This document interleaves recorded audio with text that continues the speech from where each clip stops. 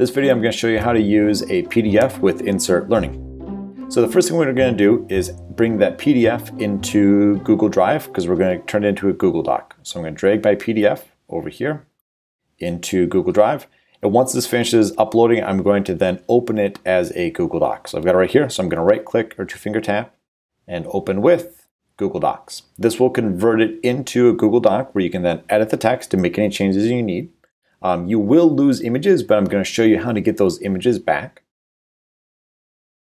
So once it's finished uploading or converting it to a, a, Google Doc, I'm going to go through and just kind of remove some of these things on the original PDF um, that kind of took up a little bit of space.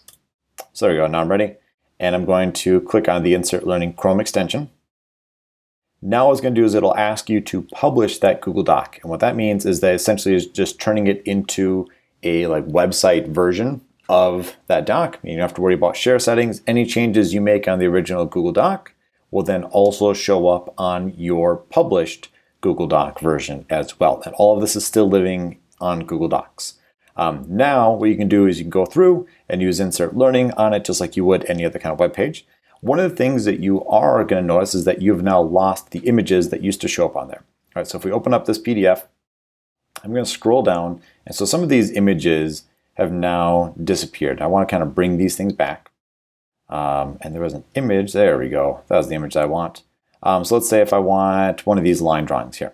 I want to be able to bring these line drawings and put them back in, right? Because you know you can do videos and things like that, but I want to use these original ones. So I'm going to use a separate Chrome extension called Awesome Screenshot.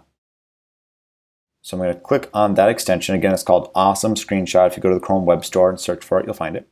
I'm going to capture a selected area, and I'm just going to draw a little box around the portion that I want. Click on Capture. At this point, you can now make any kind of annotations or changes to this image that you want to, and we can click on Done. And now you can save it to your Google Drive, but we really don't need to do that. I'm just gonna right click on it and copy that image. And heading over to our Insert Learning lesson, I'll just paste it into one of those sticky notes, and there we go. So now you can add in the images, you can throw in videos, interactive simulations, um, anything else that you'd want with Insert Learning in there. So that's how you use Insert Learning with a PDF and add those images back in.